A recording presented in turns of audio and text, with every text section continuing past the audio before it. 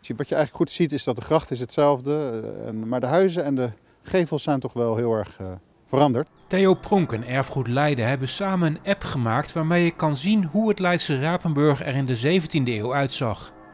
De historicus brengt met zijn stichting het verleden tot leven met behulp van zeer realistische virtual reality technieken. Ja, dus vroeger hadden we natuurlijk uh, niet die middelen, maar er is een digitale revolutie geweest. Dus we kunnen steeds mooiere virtual reality afbeeldingen maken in 360 graden, dat je helemaal kunt rondkijken. En dat, uh, dat wordt eigenlijk steeds echter en steeds realistischer.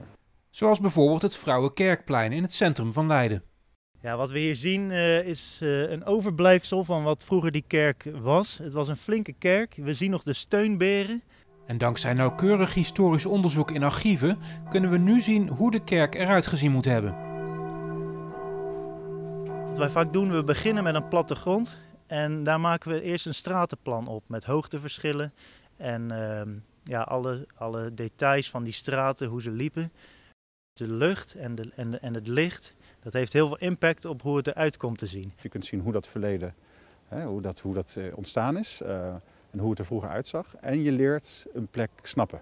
Zien we straks in de toekomst de toeristen op straat allemaal lopen met een mobieltje en dan kijken van hoe zag het er vroeger uit? Ja, dat is natuurlijk altijd een beetje hè, de discussie van je loopt in een prachtige mooie oude stad en dan ben je weer op een scherm aan het kijken.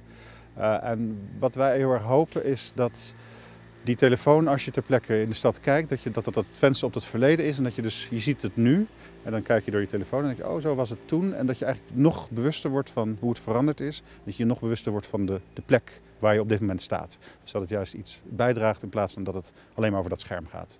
Dat is, uh, en dat het gaat leven. En dat het gaat leven. Want dat is natuurlijk wel wat, als je dingen gaat visualiseren, dan, kun je, dan, dan, doet dat, dan verandert alles eigenlijk.